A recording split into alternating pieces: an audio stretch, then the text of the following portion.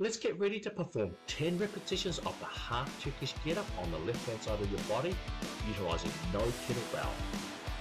So line your back with feet close to your buttocks, raise your left arm and ensure that the left shoulder joint is tucked into your left shoulder socket and with the assistance of your right arm and your abdominals, form a sit-up and then reverse the movement on the way back down in order to return to the original position.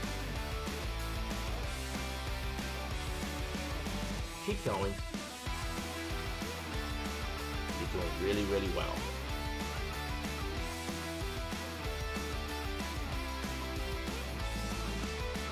This is a great exercise to actually train your core as a whole and also bond with your core and shoulders against injuries.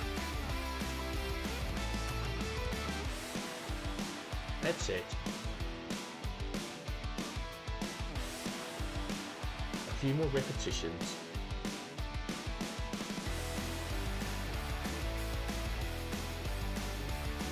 You're almost home and hosed.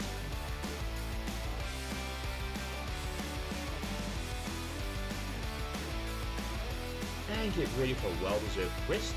Three, two, one.